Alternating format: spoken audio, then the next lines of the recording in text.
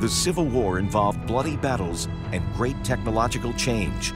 Within days of the outbreak of war, the Union forces of the North established a blockade of Confederate ports known as the Anaconda Plan. It aimed to cripple trade in cotton and munitions. In response, the South devised an ingenious strategy. A group of Southern businessmen and engineers, led by 40-year-old H.L. Hunley, experimented with submarines in Alabama. Their greatest success was a 30-foot vessel named the Fishboat. Attempts to use electric batteries and steam power had failed. They now relied on something more old-fashioned. The Fishboat was operated by eight men turning a propeller shaft.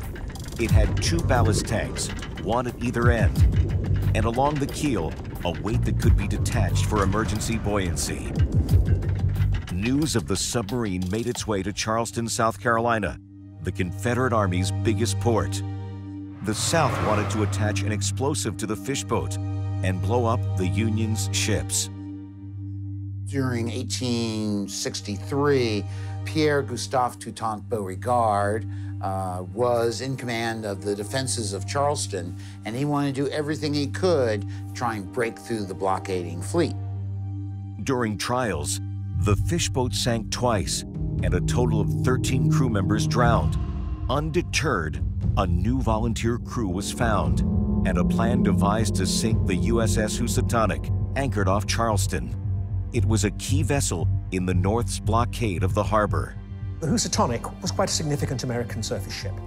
And uh, after initial failures, they managed to get the Hunley into position. It sort of paddled its way forward with the men inside working very hard.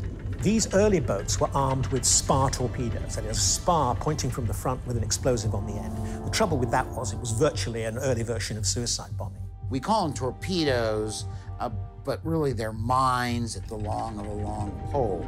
They have a barbed end, so when the ship rams the hull, the barb will keep it in there as the Hunley then has to back out.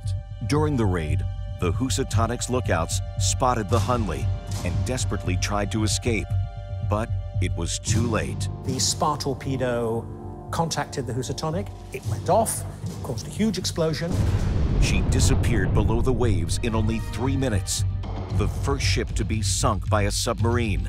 Five of her crew drowned. The Housatonic sank, but so did the Hunley. At one level, this was the first successful submarine attack. But at another level, it demonstrated that really you had to develop a better weapon for the submarine and also to produce a proper power system as well.